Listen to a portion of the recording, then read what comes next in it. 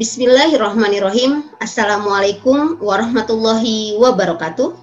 Selamat pagi semuanya. Nah, karena dengan kegiatan ini yang tadinya mungkin kita tidak tahu apa sih reptil, apa sih uh, macam-macam jenis reptil dan sebagainya. Dengan kegiatan hari ini, insya Allah ilmu pengetahuan atau ilmu kalian ya, pengetahuan kalian tentang reptil itu menjadi bertambah. Uh, siapa yang sudah pernah ke Bali? Boleh angkat tangannya. Wow. Nah, sekarang saya akan perkenalkan per kami dari Bali Reptil Park. Ada Kakak Galang. Oke, selamat Halo. pagi. Selamat pagi Kak Galang. Selamat ya. pagi. Ya, selamat apa pagi. Kabar? Hajeng Semang baik, Kak Baik, baik di sini. Assalamualaikum warahmatullahi wabarakatuh. Hajeng Semang Mawali. Oke, Kak Galang. Waalaikumsalam warahmatullahi wabarakatuh. Oke, teman. Di sini kita memiliki tiga ordo dari empat ordo. Yang pertama ada krokodilia yaitu bangsa buaya, kemudian ada squamata, itu ada kadal, biawak dan ular. Lalu ada testudines yaitu jenis kura-kura. Oke. Yuk kita langsung lihat aja hewan-hewannya kayak ini udah pada penasaran.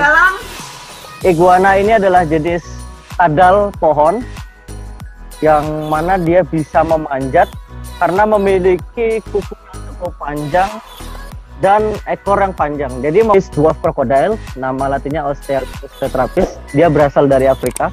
Panjang maksimal dari buaya ini nggak sampai 2 meter, panjangnya hanya sampai satu setengah meter. Oh, dia menyerang tadi. ini adalah kura-kura semangka. Nah, kura-kura semangka ini merupakan jenis river terapin atau kura-kura air besar yang berasal dari sungai-sungai di Kalimantan. Ini adalah kura-kura yang berasal dari Amazon, yaitu kura-kura mata-mata. Nah, sekarang kita akan bertemu dengan kura-kura darat atau yang biasa disebut tortoise. Nah, ini tortoise ya adik-adik. Nah, cirinya adalah tortoise itu dia memiliki tempurung yang sedikit lebih tinggi. Nah, kemudian yang paling umum bisa kita lihat adalah kakinya. Kaki tortoise ini tidak memiliki selaput, jadi lebih mirip seperti kakinya gajah. Wah, ular. Ini adalah jenis sanca batik. Jadi sanca batik adalah jenis ular terpanjang di dunia. Bapak tenang dulu ya. Oke, adik-adik di rumah ini kebetulan banget ada orang yang minta tolong ke kita karena dia tergigit ular berbisa yaitu ular hijau. Jadi bapak ini habis tadi nyabet ya? Iya. Oke.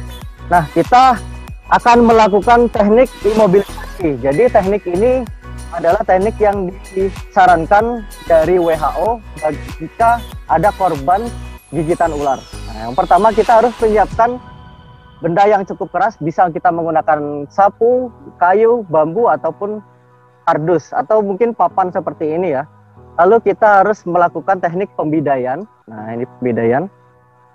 Nah, jadi pastikan kalau ketika gigitannya di bagian tangan, nah ini uh, ada tiga sendi, khususnya sendi di jari, di pergelangan tangan dan di siku, ini harus dalam posisi diam.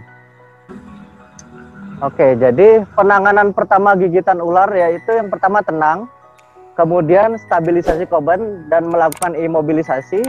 Kedua, tadi kita harus mengantarnya ke rumah sakit terdekat dengan cepat dan langsung memberikan informasi kepada rumah sakit supaya diberikan penanganan lebih lanjut. Nah, jadi ingat tetap tenang dan jangan panik. Oke. Okay. Oke. Okay. Sebentar. Oke, okay. nah ini sudah dapat. Ketika sudah dapat bagian kepalanya, saya akan injak sedikit bagian belakangnya. Nah, kemudian saya akan mengambilnya dengan cara jempol duluan. Nah, jempol duluan, nah, ini yang diambil. Kemudian saya akan mengambilnya pelan-pelan dan tidak boleh terlalu ke depan karena jika nanti terlalu ke depan takutnya ular ini akan menggigit. Nah, seperti ini, memegang ular yang aman.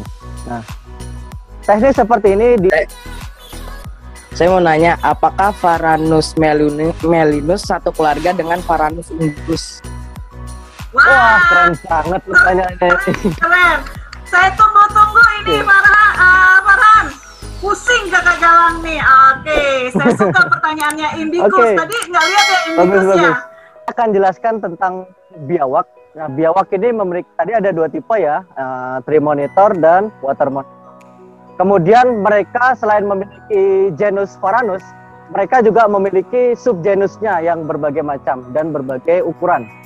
Contohnya Melinus, Wow. Melinus dia tidak masuk dalam keluarga Indicus. Nah, Indicus itu dia punya Indicus